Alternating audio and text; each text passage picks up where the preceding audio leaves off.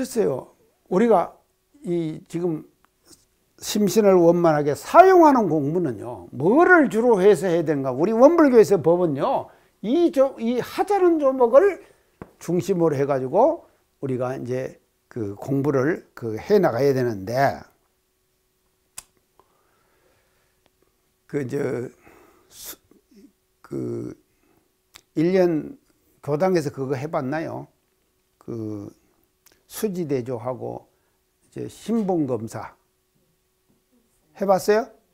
신분검사? 연타님 안 해봤어요? 아이고, 회장님이 신분검사를 뭐 신분검사. 자, 신분검사는 우리가 이제 대종사님 정말로 대단하십니다. 신분검사는 어떻게 형성되어 있는가 하면요. 두 가지로 형성되어 있어요. 신분검사의 큰 맥락은요. 뭡니까?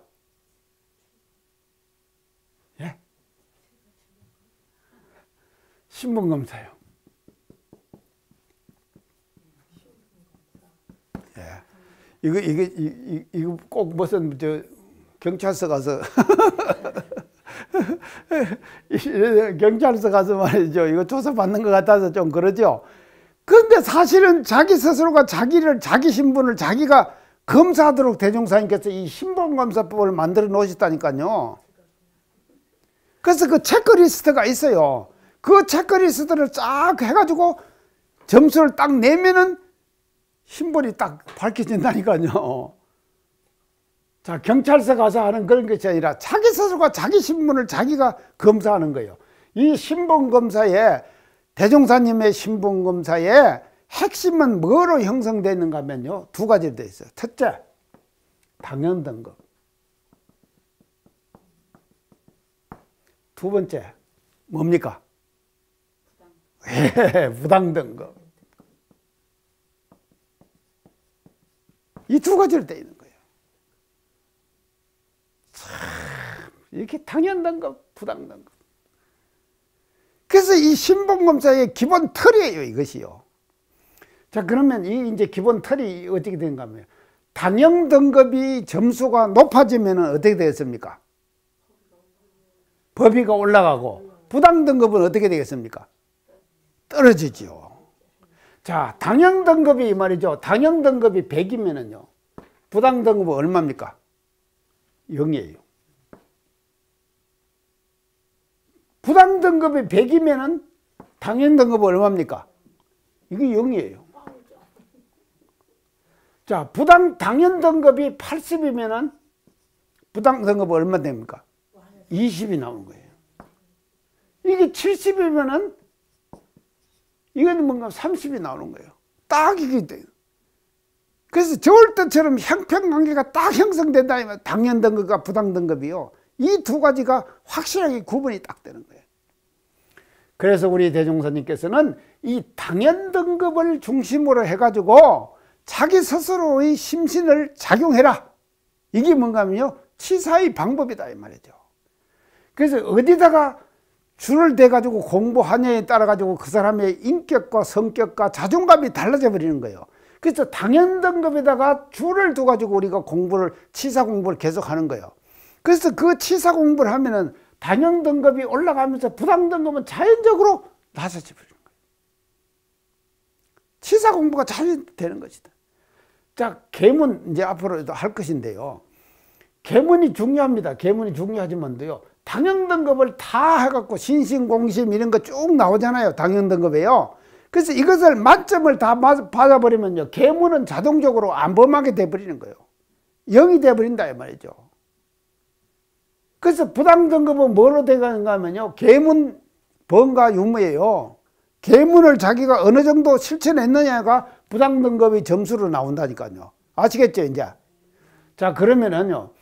이 두 가지를 대종사님께서는 우리 정전 수행편에서 뭐로 밝혀주셨습니까? 아, 진급강급이죠. 예, 진급강급인데. 구체적으로요, 이 당연 등급은요, 이거를 하는 것이 뭔가 하면 솔성요론이에요. 자, 그러면 부당 등급은 뭡니까? 계문이죠. 예, 계문. 개문요. 하여튼 보세요. 그러니까 요두 가지가 솔속요론을 제대로 실천을 다 해버리면은요, 심신을 원만하게 사용하는 공부는 그 중에 있다, 이 말이에요. 솔속요론을 다 실천해봐. 솔속요론은 몇, 어, 몇, 몇 가지로 형성되어 있습니까? 16가지. 설성요. 16조예요. 그래서 설성요론의 16조를 우리는 당연 등급으로 측정하는 거예요. 그래서 이거를 우리가 실천하게 되면은 치사 공부는 그, 그, 그 중에서 돼버린다 이 말이죠. 자, 하자는 조목, 말자는 조목에서 우리가 하자는 조목에다가 줄을 두고 공부해라. 제가 지금 강조하는 것이 이겁니다. 그래서 설성요론을 위주로 해갖고 공부를 하게 되면은 작업치사 공부는 그 중에 있는 거다. 그 중에 있는 것이다. 그래서 이제 계문은 부당 등급이 되는 것이다. 아, 참 이렇게 보면은요, 우리 교리 이게 끼 맞추신 것이 말입니다. 참 세밀하시죠? 아주 주밀하셔요. 이렇게 하나하나를 말이죠. 교리를 전, 전반적으로 끼워 맞춰 가지고 우리 교류가 교리가 이게 대종사님의 대각의 이그 경지에서 이제 나왔기 때문에 이제 이렇게 이제 되는 것입니다. 자 그러면은요 하자는 조목과 말자는 조목을 정하는 방법 이게 자기가 정해야 되거든요. 하자는 조목도 정해야 됩니다. 말자는 조목도 정해야 되는 거예요. 자기가 만들 정하는 거예요. 자, 그만 정하는 그 방법에 대해서 제가 세 가지로 오늘 얘기할게요. 자, 첫째는요. 하자는 조목과 말자는 조목을 이제 우리가 어떻게 그 정해야 되느냐. 간단한 것에서부터 시작해요.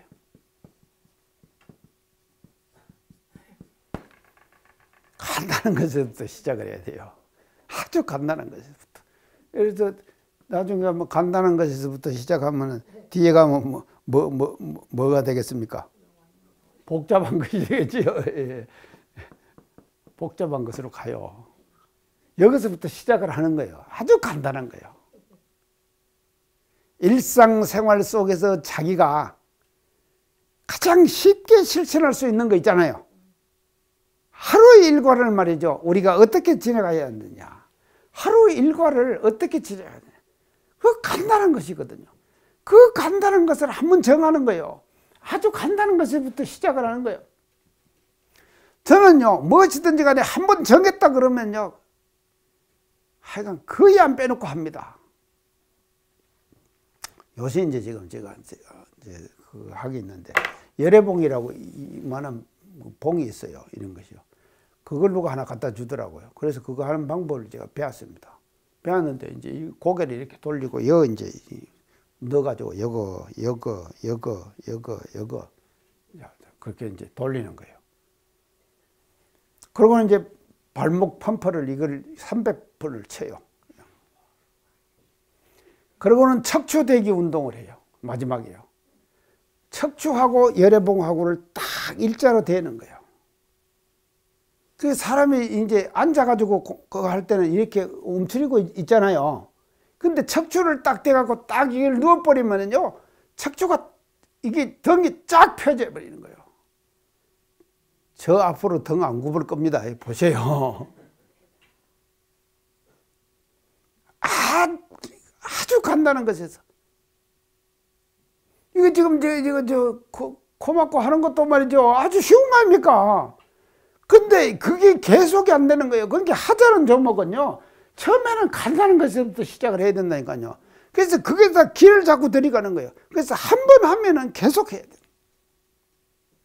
지속적으로 해나가는 거예요. 그래서 나중에 가서는 복잡한 것으로 이제 가는 거다 이 말이죠. 이것이 하자는 조목과 말자는 조목을 설정하는 방법의 첫째입니다. 그 다음에 두 번째는요. 낮은 단계에서요. 뭐로 가야 되겠습니까? 높은 단계로 가는 거예요. 낮은 단계에서요. 아, 저 밑에 낮은 단계. 아주 낮,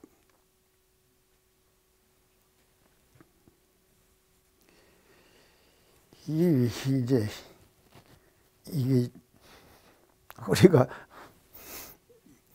그 간단한 것이 낮은 단계가 되는 것이고요. 복잡한 것은 높은 단계가 되는 것이거든요.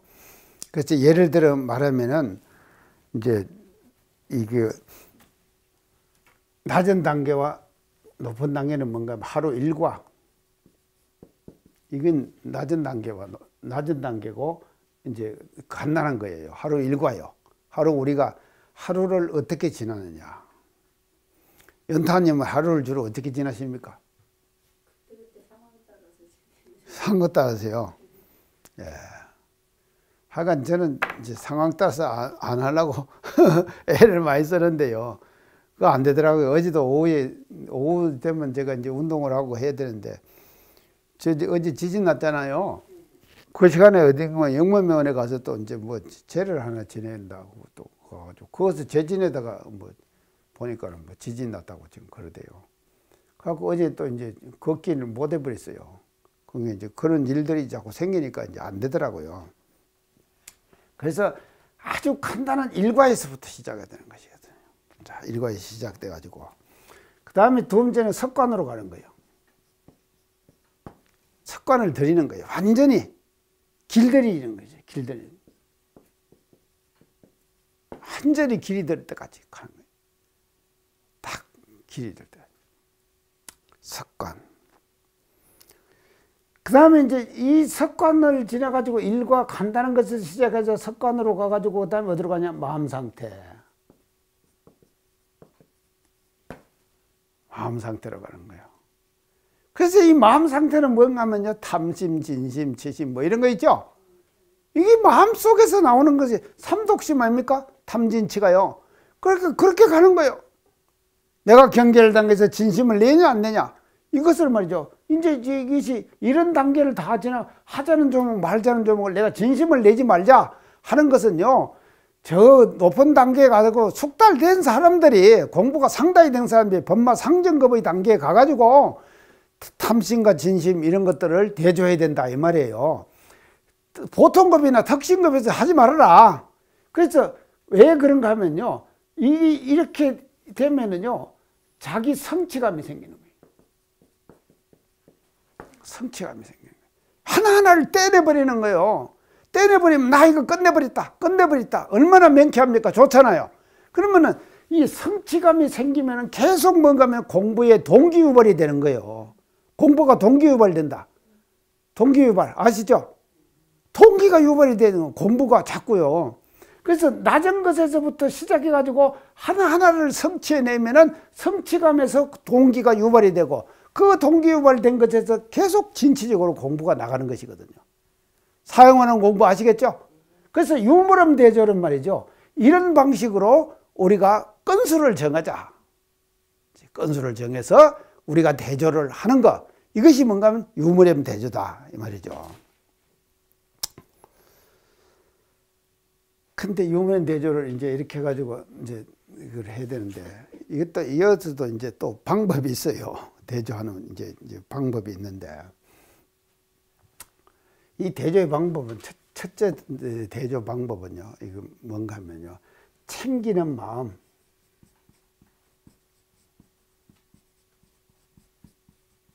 유무를 점검하는 거예요. 있고 없음을요. 그래서 내가 챙겼으면 유령. 안 챙겼으면 뭡니까? 무령.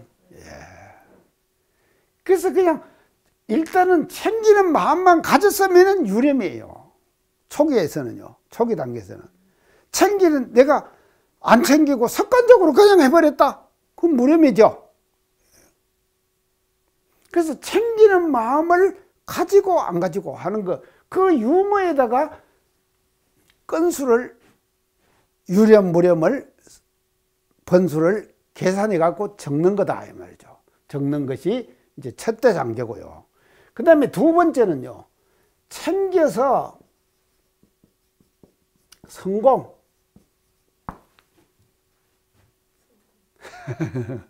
성공을 했으면 유렴이고 챙기긴 챙겼는데 실패했잖아요.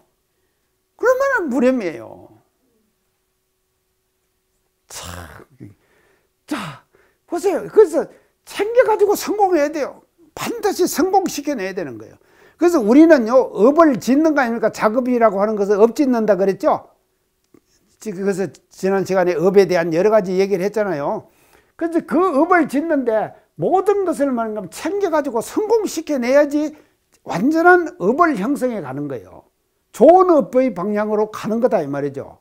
그래서 챙겨서 성공했나 챙겨서 실패했나 에다가 번수를 정해가지고 기재하는 것 그것이 유물형 기재의 방법이다. 아시겠죠? 예. 이제 이렇게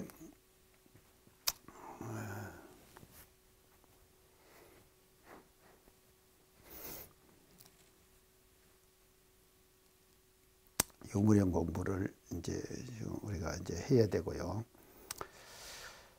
자, 그래서 이제 심신을 사용하는 이 유물형 공부는요. 그렇기 때문에 심신을 원만하게 사용하는 공부의 총체적 방법이에요. 이 유물형 공부가요. 그래서 이 총체적 방법인 이제 일기의 유물형 대조를 이제 통해 가지고 우리가 이제 그것을 해야 되고 그다음에 이제 일기 이, 이게 이제 이, 저 상시 일기거든요. 지금 아이 상시 일기죠. 예. 상시일기 지금 하고 있습니다. 상시일기 첫째는 유무념 대조예요. 이제 두 번째는요. 합숙 상황 기제예요.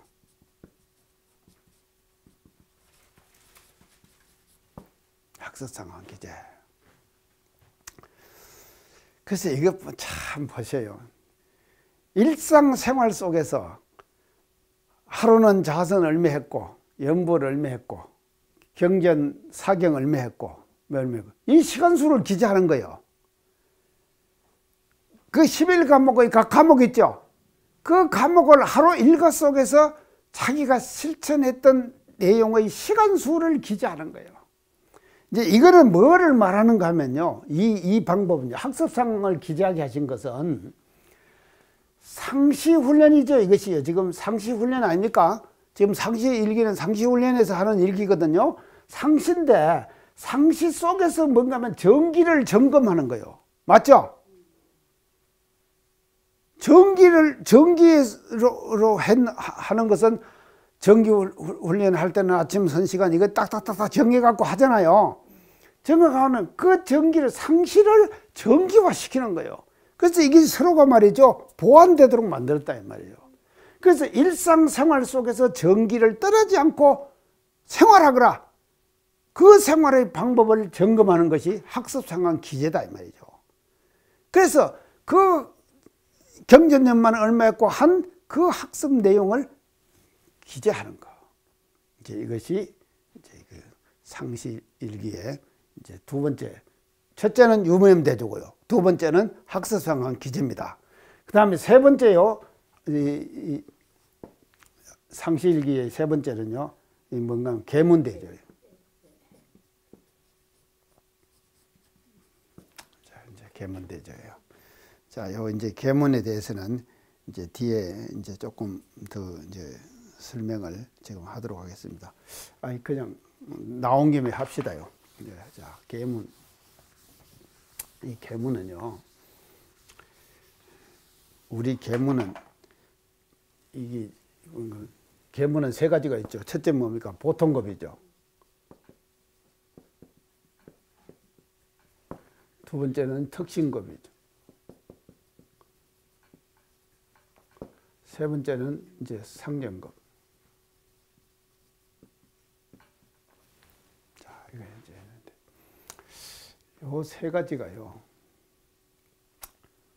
보통급 쉽게는 이제 주로 공부인이 초급자가 몸으로 짓는 수지대죠. 몸으로. 그래서 중개에 해당되는 것들이 여기 들어가 있죠. 그래서 살도 음에서 시작하죠. 살생도적 간음 이게 이제 살도음에서 시작을 합니다. 그 그거 이제 조금 단계가 들어가면 특징급을 이제 우리가 받는 거예요. 근데 여기는요, 이 이게 이거는 신 몸으로 짓는 신 신이에요. 이거는 구예요. 입으로 짓는 것이 뭐 악한 말을 말며 뭐 그런 거 있죠. 근데 입으로 짓는 것이 많습니다. 계문에. 하, 그, 그, 그, 그 구, 구시 하문이라 그렇게 구시 하복지문이라고 그렇게 하셨죠. 그게 이제 그리고 상정급은 뭔가 하면 이게 마음으로 짓는 거예요. 그 신구의예요. 이것을 이것서 단계적으로 이걸 이제 계문을 이렇게 설정을 했는데 요 단계적으로 설정한 계문의 단계가 우리 대종사님께서는 아주 정밀하게 분석을 하셔가지고 보통급에서는 요 정도는 지켜야 한다고 하는 것을 단계를 딱 설정한 거예요. 그래서 이것이 이제 끝나고 나면은 특징급으로 넘어가거든요. 30개를 한 번에 다 받는 거 아닙니다. 그러니까 우리가요, 아직 이것이 교당에서요, 석가나 되질 않았어요. 이걸 돼야 되거든요. 처음에는 이제 보통 것만 해야 돼요. 그러고 나서 이제 어느 정도 숙달이 되면요, 법위가 이제 특징급 올라가고 하면은 이제 특징급 식기문을 지켜야 될 거 아닙니까? 그 상정급 가면은 뭘 지켜야 되는 거면 이걸 지켜야 되는 거예요. 맞죠? 그래서 법위의 사정 따라가지고 계문도 그것도 따라서 같이 올라가는 거예요. 이게 이제 그런데 다, 그러니까 이게 뭔가 하면 단계별이다. 단계별. 그래서 정확하게 대종사님께서는 이 계문을 말이죠. 보통 값에서 지킬 계문의 정도. 그거는 쉬운 것부터 시작하는 거예요. 중한 것부터 시작하는 거예요. 그리고는 특신급에서부터 특신급은 믿음이 난 사람은 이 정도 해야 된다 하는 것을 하고 이 상전급은 서로 싸움하는 거죠. 법과 마가 상전한다 그러죠. 그 상전하는 사람은 이 정도 계문을 지켜야 한다 하는 거로 이제 제시를 해 주셨는데 여기 뭘, 뭐를 의미한가 하면요. 이 교과 과정과 같아요.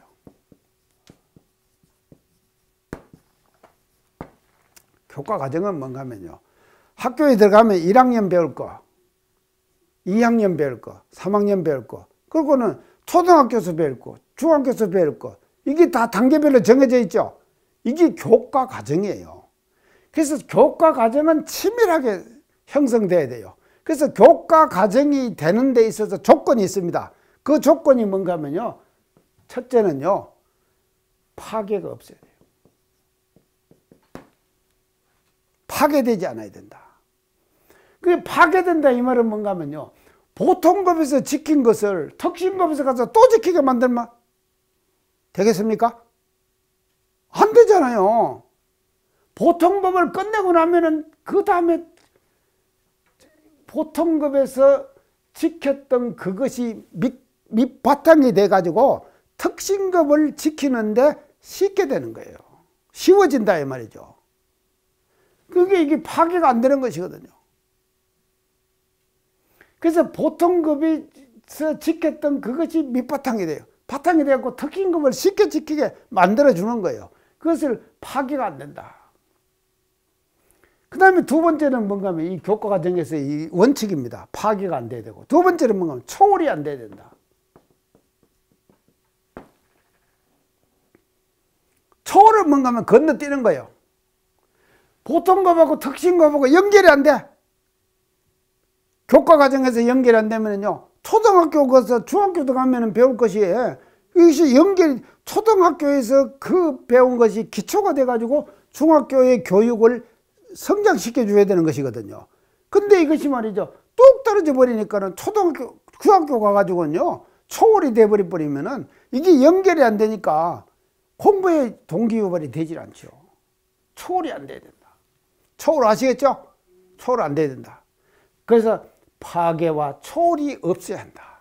이게 뭔가면요. 교과 과정의 원칙이에요. 그 원칙을 대종사님께서는 이 계문, 30계문, 보통급, 특징급, 상장급 이 세 가지 단계로서 파괴와 초월이 없는 주밀한 그와 같은 단계를 설정해 주신 것이 계문이다. 우리는 그런 계문을 지키라고 지금 받고 있다. 이거 알으셨어요? 자, 이제 개문되죠. 이래가지고, 어, 이제, 저 유무림 대죠. 이제 지금 끝냈습니다. 그 다음에요. 상실기를 끝냈죠. 상실기. 아, 그 다음 방법이 뭡니까? 작업치사 공부 방법이요. 이제 마지막으로 11과목 중에서 남은 것이 있죠. 뭡니까? 정기훈련 11과목 중에서 이제 상실기까지 했으니까 남은 것이 두 가지가 있는데 자, 두 가지 남은 두 가지가요. 이게 이제 뭔가 하면요. 주의예요. 주의 공부. 주의 공부. 주의 공부를 해라.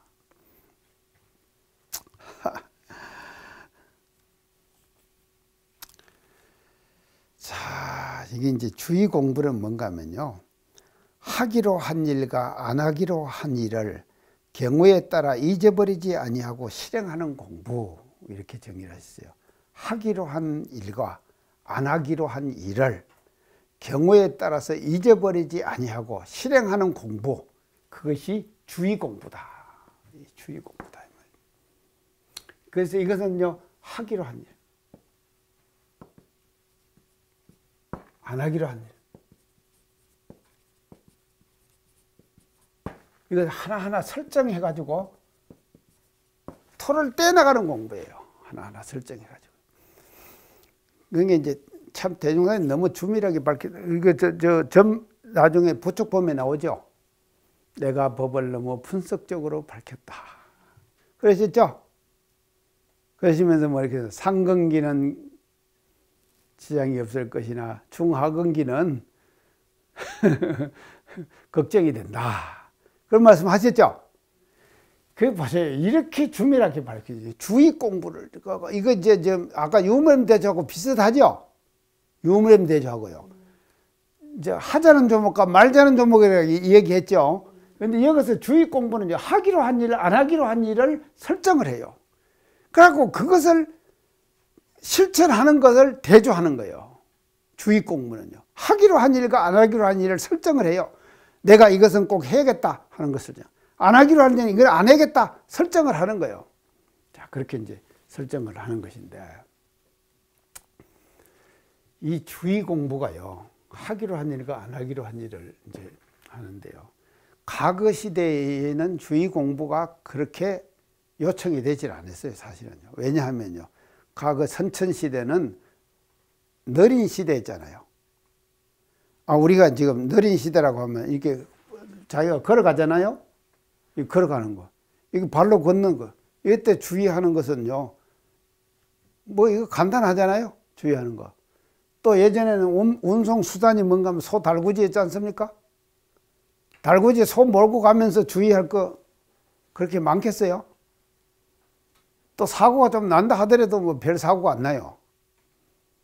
자, 그런데 지금은 그런 시대 아니잖아요. 어떤 시대입니까? 스피드한 시대지요. 속력이 엄청 빨라져 버렸잖아요. 이게 엄청 속력이 빨라지니까 KTX. 이게 지금 300km를 달리잖아요. 언제 한번 뉴스에 보니까요. 울산역에 KTX가 서가지고 사람을 내야 되는데 서긴 섰어요. 근데 문을 안 내려줘 버린 거예요. 안 내려주고는 섰다가 그냥 출발해 버린 거예요. 그러니까 내릴 사람도 못 내렸고 탈 사람도 못 탔어요. 순간적 실수 아닙니까? 자, 그런 거예요. 우주인이 우주선을 타고 지금 저 우주에 올라갔다. 이게 지금 지구 궤도를 수, 이게 순환하잖아요. 손가락 하나를 어떻게 작용하냐에 따라 가지고 엄청난 파장이 일어나는 거예요. 맞죠? 그래서 이 지금의 시대는요, 시대냐면 주의가 과거 선천 시대의 주의하고는 질이 다르다니까요. 그래서 주의가 더 필요한 그런 시대가 왔어요, 지금 우리 앞에요. 맞죠? 아우, 지난번에 경주를 갔다 오는데요. 이 경상도 가자면 오늘 오송에 가가지고 갈아타야 됩니다. 또 이제 거기가 신경주역에 내려가지고 그것도 신경교육에서 타가지고 오송에서 와가지고 또 익산 오는 거 갈아타야 돼요. 근데 시간이 말입니다. 지금 갈 때는 여유 시간이 있어가지고 또 한 시간을 오송에서 쉬었네. 오는 때는 뭔가 하면요. 13분 여유가 있어요. 오송에서 익산 오는 차하고 경주에서 오송 도착하는 차하고 도착해가지고 13분 여유가 있다. 그러니까 앉아서 말이지 13분 만에 이게 연착이나 해갖고 이게 열차 놓치면 내가 오늘 집에도 못 가는데 이런 생각이 들더라니까요. 그러잖아요. 지금은요, 이 열차를 타고 댕겨도요, 시간을 딱딱딱딱 맞춰야 되기 때문에요, 엄청난 주의가 필요한 거예요. 그리고는 오송역에 내려가지고죠, 홈을, 어디에 홈으로 가는가 모르면은요, 잠깐 동안에 열차 놓쳐버린다니까요. 맞죠? 자기 홈을 못 찾아가면요, 순간적으로 놓쳐버리는 거예요. 그러니까 이 주의라는 것이 엄청나게 요청되는 그런 시대를 우리가 살고 있다 이 말이죠. 그래서 이 주의는요 어떤가 하면 세밀한 공부예요. 세밀한 공부예요. 아주 세밀한 공부입니다. 우리의 심성을 아주 세밀하게 점검하는 이제 그런 공부가 이제 이 주의 공부다. 이제 그렇게 이제 볼 수가 있고요.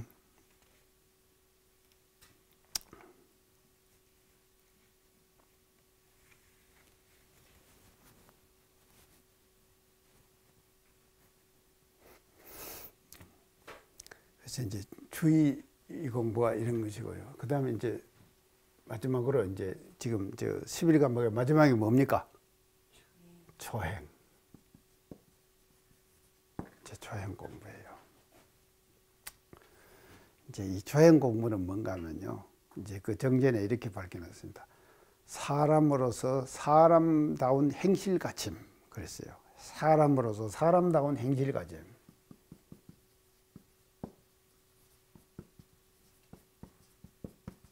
자, 행실 가침. 이거 벙벙하죠? 행실 가짐이 어떻습니까? 사람으로서 사람 행실 가짐. 무엇이 행실 가짐인지 벙벙하잖아요. 아주 방만하고 벙벙하고 그런 거예요. 사람, 사람 행실 가짐. 자, 이걸 이제 다른 말로 하면 저는 이렇게 했는데, 인도 정의를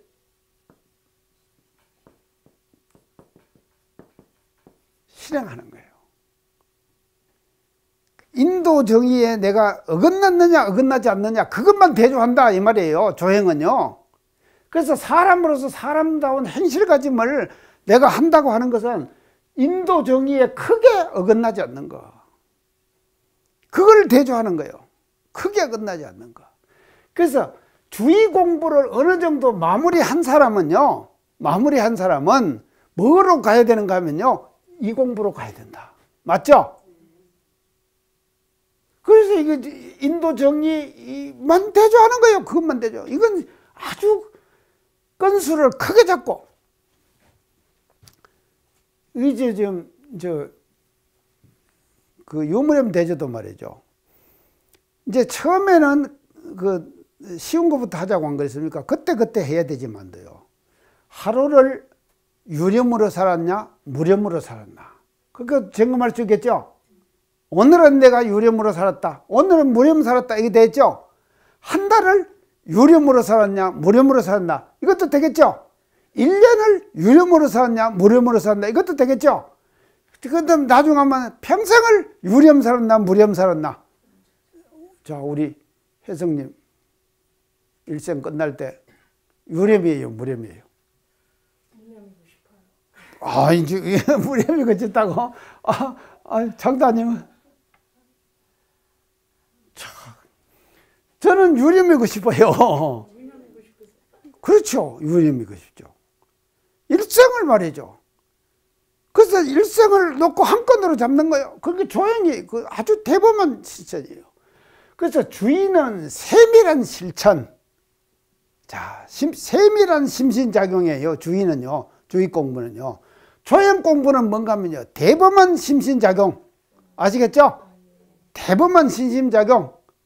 참, 하여간요. 그래서 세밀한 심신작용을 하면 사람이 뭔가 하면요. 세밀하긴 한데 너무 꼼꼼해가지고 앞뒤가 꽉 막힌 사람이 있어요.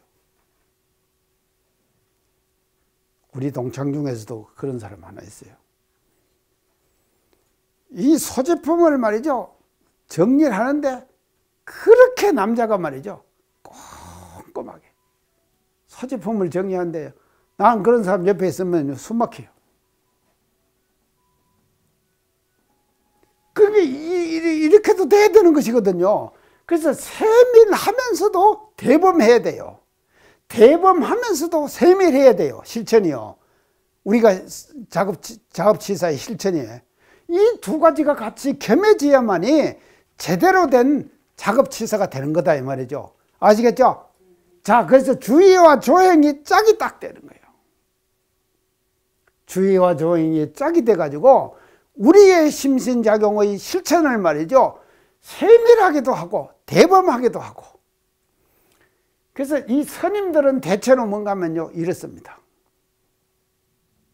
대범하긴 해요. 근데 어느 스님을 내가 딱 보니까요. 딱 대보니까 알거든요. 그 대보니까요. 월명암에 절을 갔는데 우리 남자 정원단이 갔어요. 남자 정원. 제가 총무할 때입니다. 남자 정원인데. 그래서 월명암 가서 이제 우리 정산종이 계시던 곳이니까 해가지고 내가 가운데 저 그 대웅전 가운데로 탁 들어갔어요. 그리고 들어가니까 우리 이제 내가 이제 안내해갖고 들어가니까는 우리 정화단들이 다 거리 다 들어왔을 거 아닙니까?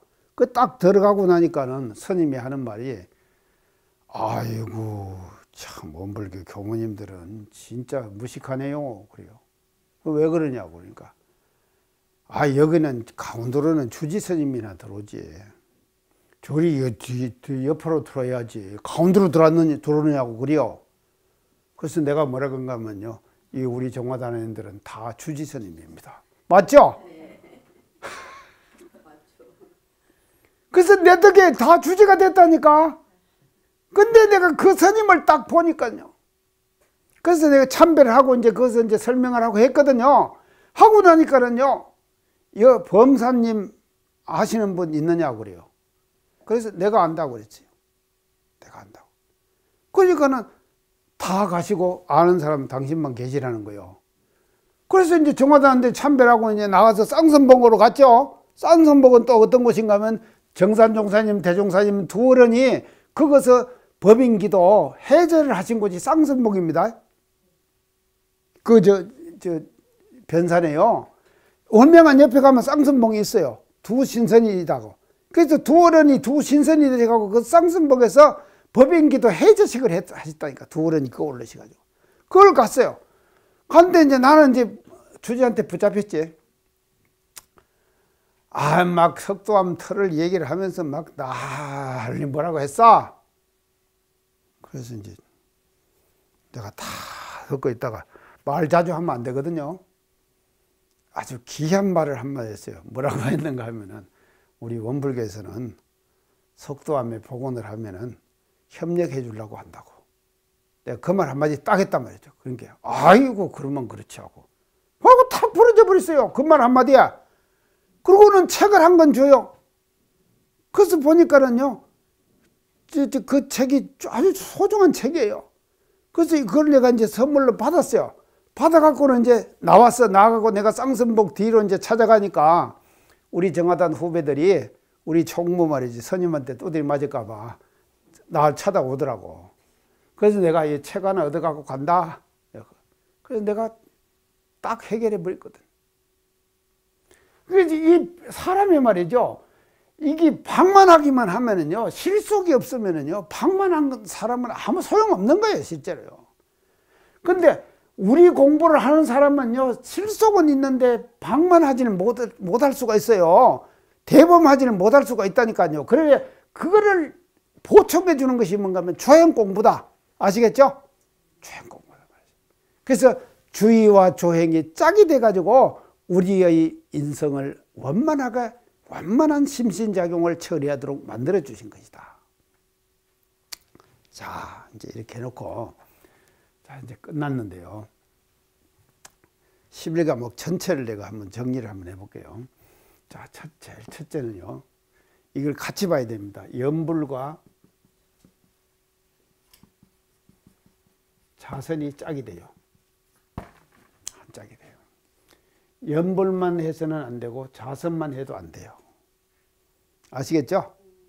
그래서 초입자는 연불부터 시작하고 숙달 되면 자선부터 하고 연불은 추중벌레 아주 그 거친 벌레 있죠? 그거를 제거하는 것이 연불이에요. 그래서 초입자는요 연불을 통해 가지고 남아미 타불이라고 하는 일념 집중을 연습을 하는 거예요. 그걸 통하고 자선은 뭔가 미세유주 미하게 흐르는 생각들 있죠. 그 미하게 흐르는 생각들을 끌어내는 거예요. 그것이 자선 공부다. 그래서 불교에서는 이 자선만 하잖아요. 맞죠? 자선만. 근데 대종사님께 연불 공부를 해가지고 이 두 가지가 딱 짝이 되도록 만나.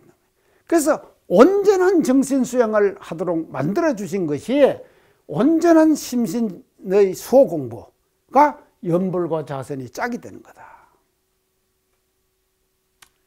그 다음에 이제 두 번째는요. 사령국에서 경전과 어두성리 이게 짝이 되는 것이다. 이게 짝이에요. 자, 경전은 뭔가 읽고 쓰는 공부라 그랬죠. 어두는 생각으로 궁 걸리는 공부라 그랬죠. 어두성리는 생각으로 궁 걸리는 공부. 그래서 쓰기만 하고 생각으로 궁 걸리지 않으면 생각이 편협될 수가 있어요.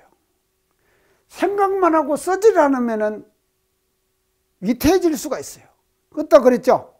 그래서 이 두 가지를 같이 겸함으로써 온전한 해두를 단련하도록 한 것이다 말이죠. 그래서 이 두 가지가 경전과 읽고 쓰는 해두, 생각으로 궁 걸리는 해두 이 두 가지가 같이 겸해지게 해서 짝을 이루었다 말이에요. 이걸 같이 봐야지 이 두 가지가 의미가 딱 드러난다 이 말이에요. 그 다음에 세 번째 어두와 성리 이게 또 짝이에요. 어두는 뭔가 하면요 사 공부예요. 성리는 뭔가 하면 이 공부예요. 그랬죠? 이게 사는 뭔가 하면 이게 넓은 공부예요. 지혜를 넓히는 공부. 해두를 넓히는 공부 그것이 어두예요. 해두를 넓히는 공부예요. 성리는 뭔가 하면 해두를 깊게 하는 공부예요. 깊게 파고 들어간다 이 말이죠. 그래서 이 해두가 말이죠. 깊기도 하고 넓기도 하고 넓기만 하고 깊지 못하면은 그것은 박식하기는 하되 박식하기는 하되 사리가 아주 밝은 저, 저 사가 밝은 사람이 있어요. 사가 밝은 사람이요. 사는 밝때 이치가 안 드러나는 거예요. 그러면 이치만 하면은 사가 어두워요. 그 일사가 어둡다 이 말이죠. 이렇게 되면은 안 된다 이 말이에요. 그래서 이것이 두 가지가 짝이 돼 가지고 같이 봐야지만이 완전한 해두를 우리가 이 두 가지를 같이 이제 겸할 수가 있다. 자, 그 다음에 네 번째 짝이요. 강령과 해화예요. 이게 또 짝이죠. 제가 이게 짝지어서 얘기했죠.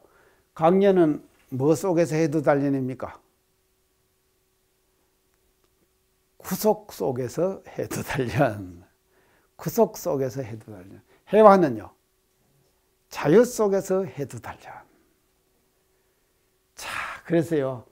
우리는 강령과 해와 이게 짝이 딱 돼가지고 구속 속에서도 해두가 단련되고 자유 속에서도 해두가 단련되고 그래서 강령만 하면은 구속이 돼갖고 이제 해두가 눌린다 그랬어요. 그리고 해화만 하면은 해두가 뭔가면요 거만해진다 그랬어요. 거만해진다. 그래서 거만해지지도 않고 눌리지도 않고 그런 완전한 해두를 단련하는 것이 강령과 해화다. 자, 그 다음에 다섯 번째 짝이 뭔가 하면요. 정기일기와 상실기예요. 이거 지금 아까 쭉 얘기했죠? 이게 짝이 되죠? 이 짝이 돼가지고 이것을 우리가 겸함으로써 원만한 실천을 우리가 할 수가 있는 것이다. 그 다음 여섯 번째 주의조행이 주의조행이 짝이에요.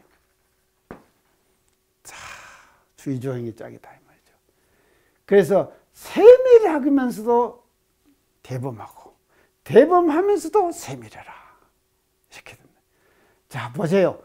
이 정기훈련 11과목 전체가 전체가 말이죠. 대중선님께서 사막 수행을 완만한 사막 수행을 우리가 진행한 것입니다. 자, 멋지죠? 자, 이런 법을 말이죠. 우리가 받아가지고 우리가 이제 지키고 그 있는 거다. 이렇게 하, 이래가지고 이제 그 공법법에 대해서 마쳤네요. 어떻게 일인상 서문을 시작을 해가지고 하다 보니까 지금 이렇게 그냥 오랜 시간을 지금 했는데 이제 공부법은 다 마쳤으니까 나, 나머지 이제 그 부분은 그 맹세하는 그런 부분에 대해서 다 같이 공부해 보도록 하겠습니다. 오늘 강의 선마치 감사합니다.